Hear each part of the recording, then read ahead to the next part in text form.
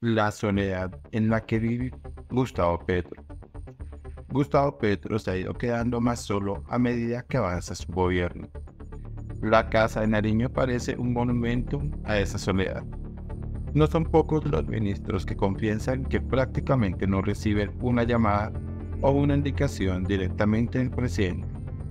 Solo Laura Sarabia, que cada vez se toma más atribuciones, parece conectar los hilos del gobierno. Petro está más introvertido que nunca. Su comunicación es por Twitter y su único puente con el mundo es Laura Sarabia. Le dijo al colombiano a principios de este mes de septiembre, una persona que por décadas ha sido muy cercana y leal al presidente Gustavo Petro. Justo un par de días después, el mandatario protagonizó un episodio de profunda melancolía. Mi hija decidió irse y es la última que tenía. Estoy triste, vacío, desolado. Me toca vivir en medio de mi luto porque mi última hija se va. Incumplí actos públicos, pero no tenía la fuerza para pararme ante un auditorio y hablar cuando mi corazón estaba llorando, dijo Petro en un quichocó. Se refería a Antonella, su hija menor de 16 años, que como ha hecho algunos de sus hermanos decidió irse a Europa a estudiar. Pero tiene seis hijos, y yéndose a Antonella solo le quedaba uno en el país, Nicolás Petro, que está detenido en su casa en Barranquilla. Más que el discurso de posesión de la nueva defensora del pueblo, Iris Marín, que era la razón de estar en Nuquí, la locución del presidente parecía un largo lamento. Era la primera vez en la historia que en Colombia se elegía una mujer como defensora, gracias a que Petro había puesto en la terna exclusivamente mujeres, pero prácticamente no se refirió a ese histórico evento. Más bien, como si tuviera los cables cruzados, se sintió poseído por el espíritu de cualquier prócer del siglo XIX. O tal vez le vinieron a la mente párrafos de alguno de los tantos libros que había leído, y se refería a las mujeres para decir que lavaran las banderas e, e hicieran hijos para la nueva revolución. A primera vista, su discurso retrata a alguien profundamente solo, que además transforma su soledad en agresividad. En ese mismo discurso llamó a las periodistas muñecas de la mafia y dijo que no entendía cómo el presidente de la Corte Suprema, siendo negro, podía ser conservador. Dos referencias que no tenían que ver con nada de lo que estaba pasando en esta población de Chocó. Además, empezó hablando de Novecentro de Bertolucci, una película de hace 50 años que retrataba bellamente la lucha entre el comunismo y el fascismo en la Italia de Mussolini. ¿Acaso Petro, en una suerte de delirio, se siente estar viviendo 50 años atrás de su historia? Unas horas antes, ese viernes 30 de agosto, algunos funcionarios del gobierno había tenido un encuentro con el presidente Petro y uno de ellos, al ver que el mandatario estaba en una situación precaria, le sugirió a uno de los asesores que por qué no le recomendaban al presidente tomar un descanso antes de hablar, que tal vez no era bueno que se presentara en ese estado. Pero ninguno se atrevió a decirle nada a Petro. En el discurso se le oía la voz ligeramente arrastrada, como cuando alguien está bajo el efecto del alcohol. La soledad de Petro. Antonella Petro volvió rápidamente a Colombia apenas cuatro días después. Lo anunció con un mensaje publicado en la cuenta X, en el que entre otros decía, es de cobardes dejar solas a las personas que uno quiere cuando más lo necesita. Parece una obra de teatro, una ópera de aquellas entre trágicas y dramáticas, pero la realidad es que Gustavo Petro se ha ido quedando muy solo. Su esposa Verónica Alcocer poco vive ya con él. La casa de Nariño es un monumento a esa soledad. En la oficina de al lado del presidente está la directora del DAPRE, Laura Sarabia. Fácilmente se puede caminar por los pasillos en madera cubiertos con alfombra roja, ver oficinas vacías y no cruzarse con nadie. De pronto algunas personas de seguridad En algún otro lugar se puede ver a la secretaria jurídica que le lleva al presidente los documentos para firmar. De vez en cuando a la consejera de las regiones, Luz María Múnera, que se la pasa en territorio, y uno que otro funcionario de oficinas de apoyo como la de comunicaciones y de transformación digital. El contraste es grande si se compara con la casa de Nariño de Barco, con su Sanedrín, Germán Montoya, Gustavo Barco, Fernando Cepeda, Felipe Zuleta, Rodrigo Pardo, Ola de Gaviria, Fabio Villegas, Rudolf Fons y Armando Montenegro y el Kinder de Miguel Silva, Mauricio Vargas, Gabriel Silva, Fernando Carrillo y Rafael Pardo, para no mencionar las más recientes.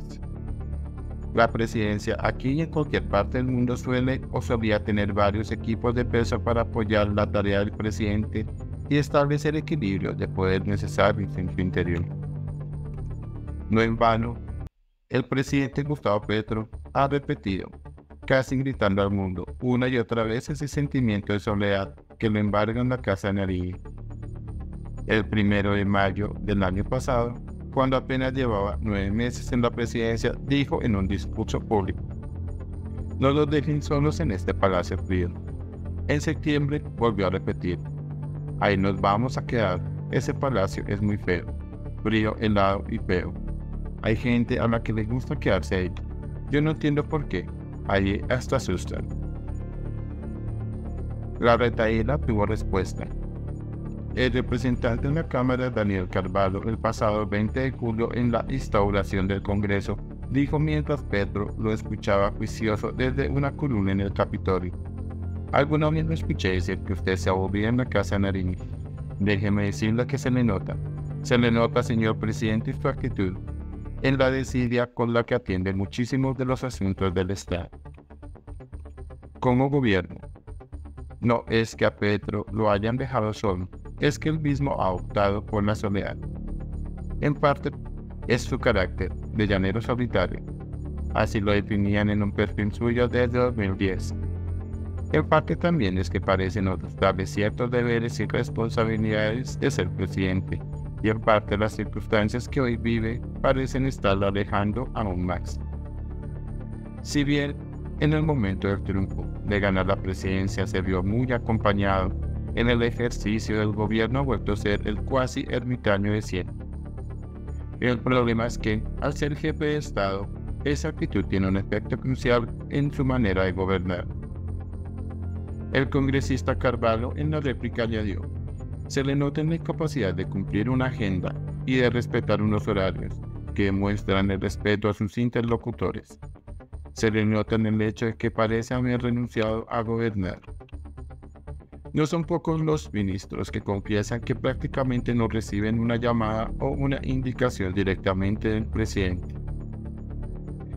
El más reciente reconocer esa manera de gobernar de Petro fue el exministro de Hacienda José Antonio Campo, quien en una entrevista con los Danieles hace un mes confesó que mientras fue ministro nunca tuvo una comunicación directa con el presidente Petro. Yo en los nueve meses de ministro no tuve ninguna comunicación directa del presidente, ni una. Curiosamente cuando uno tenía un tema urgente siempre era a través de Laura Sarabia, relató Campo. Yo fui ministro de Hacienda con Pedro y yo tenía una, dos o tres llamadas diarias para asuntos del Ministerio de Hacienda y como campo son varios los altos funcionarios que de una u otra manera han dicho lo mismo en público o en privado. El director de la unidad de riesgos, Carlos Carrillo, a quien le tocó asumir luego de tremendo escándalo en la UNGRD, dijo no tener mayor comunicación con Petro. Hay muchas cosas en las que sería muy valioso escuchar de su propia voz para dónde vamos, comentó Carrillo. La gran mayoría de los ministros no tienen reuniones bilaterales con el presidente. De lo que Petro dice en el Consejo Ministros los lunes es de donde debe sacar las líneas a seguir de sus ministerios. En el equipo de Oti Patiño, el consejero de paz, un día reciente se quejaba de que Laura Sarabia es la que convoca a Oti a reuniones. Y en los primeros meses de Iván Velázquez como ministro de Defensa, se contaban en una mano y sobraban dedos las veces que se reunió con Petro. De hecho, en el último remesón de gabinete en el que Petro sacó a seis ministros con el argumento de la falta de ejecución, alguno de ellos se preguntaba, ¿y en dónde estuvo Petro revisando la ejecución o dando línea para enderezar el camino? El exministro Campo, tal vez el economista colombiano que ha ocupado más alto cargo en los organismos internacionales, también explicó que el presidente Petro no hizo ni una sola reunión presidencial de COMPES, que es la que se define la política económica y social, que para él son tan o más importantes que el Consejo de Ministros. Y ese modo operandi de Petro explica, crea problemas es una cosa francamente casi grotesca. El presidente va haciendo declaraciones sin consultar al ministro, como fue mi caso, y después los ministros tratan de interpretar o moderar algunas de las declaraciones. El caso más patético que me tocó fue una declaración del presidente que, de que iba a restablecer el control de cambios, relató Campo. Yo pensé en los test que son los bonos de deuda pública y dije vamos a perder toda esa inversión. Y como era muy difícil hablar con el presidente directamente, yo le mandé un mensaje con Laura Sarabia. Dígale al presidente que yo tengo que corregir esto. Me dijeron que sí, que podía hacerlo. Y salí públicamente a decir que hablaba en nombre del presidente. ¿Quién gobierna? Y no es que el presidente tenga que estar conversando con los ministros, pero llega a un momento que cabe la pregunta, ¿quién está gobernando? Por momentos pareciera que los vasos sanguíneos que deben conectarse para que el gobierno fluya están desconectados. O si se quieren, quien los conecta todos es Laura Sarabia, una mujer de 30 años que siendo hija de militar se crió en la base de Tres Esquinas. Se graduó en la Universidad Nueva Granada. Su primer trabajo fue en la UDL del senador Armando Benedetti y conoció a Petro no hace más de tres años en su campaña. No son pocos los funcionarios, congresistas o empresarios que hablan con Laura Sarabia bajo el entendido de que es como hablar con el presidente. Y Laura cada vez se toma más atribuciones. En los últimos días habló de la política de reactivación económica. ¿En dónde estaba el ministro de Hacienda o el presidente de la República? La reforma de la salud que se acaba de presentar tiene en los metadatos el rastro de haber sido modificada o corregida por un asesor del DAPRE, del departamento en cabeza de Sarabia. E incluso el presidente Petro se enteró que Sarabia le había dado al ministro Bonilla el visto bueno para sacar a Luis Carlos Reyes de la YAN cuando ya era un hecho cumplido. En alguna oportunidad invitaron a los directores de medios de comunicación a presidencia para hablar de racionamiento de energía pero en lugar del presidente Petro los atendió Laura Sarabia. La misma Sarabia sostiene una suerte de guerra fría con la vieja guardia de Petrid, aquellos que se formaron con el presidente en el M-19 y en una de las primeras batallas se ha visto ganadora. O al menos así se entendió la salida de Carlos Ramón González, fundador del Partido Verde de la Casa de Nariño. Laura no solo goza de la confianza de Petro, sino de la de Verónica Coser, la primera dama. Y su tarea consiste no solo en ayudarle a llevar las riendas del gobierno, sino también la de su vida. La salud de Petro. En el reciente congreso de la ANDI en Medellín, si bien en general poco se habló de Petro, y se escucharon algunas manifestaciones de preocupación sobre lo que puede estar pasando en el corazón del poder político del país. El presidente del Congreso, Efraín Cepeda, contó que una vez elegido le tomó 45 días lograr reunirse con el presidente Petro. Y la senadora Angélica Lozano, que apoyó a Gustavo Petro para la presidencia, comenzó su intervención diciendo, a mí me preocupa la salud física y la salud mental del presidente. En los últimos días a Petro le ha dado por decir que lo quiere matar. Dijo, sin presentar pruebas, que hay un supuesto plan para matarlo o sacarlo del poder en los próximos tres meses. Por supuesto que en un país como Colombia, en donde ha matado a candidatos presidenciales, no se puede descartar la preocupación en ese sentido de ninguna persona, y menos del presidente de la República. En el caso de Petro no es un temor nuevo En un reportaje que hicieron en 2007 en el tiempo narran cómo Petro dormía todos los días con una ametralladora al lado de su cama. Por si entra de la noche, decía Petro. Duerme con ella cerca y de día le entrega a sus escoltas. Y en ese entonces le decía a la periodista, aquí mismo me podría matar, pero no le voy a explicar cómo. Esa mezcla de desconfianza y de llanero solitario parece haber escalado, ahora con el poder en sus manos, a un grado superior, y cada vez parece que se agudiza. En noviembre se cumple un año de la publicación de una carta en la que la periodista María Jimena Luzán le decía al presidente Gustavo Petro, hay fuentes que me aseguran que las razones de sus desapariciones las cuales se han vuelto cada vez más frecuentes y prolongadas, tendrían que ver con que usted ha querido mantener oculto un problema de adicción. Si eso es cierto, debería sincerarse primero con usted mismo y luego con el país que lo eligió y contarnos lo que le sucede. Y decía la periodista que según varios psiquiatras todo lo que hace un adicto está determinado por su adicción los adictos creen que la culpa de sus problemas la tiene el mundo y los demás. Son incapaces de verse a sí mismos como los causantes de sus propios errores y son unos cínicos inconmensurables. Pero sobre todo andan en una permanente paranoia y desconfían hasta de sus obras. Son unos lobos solitarios.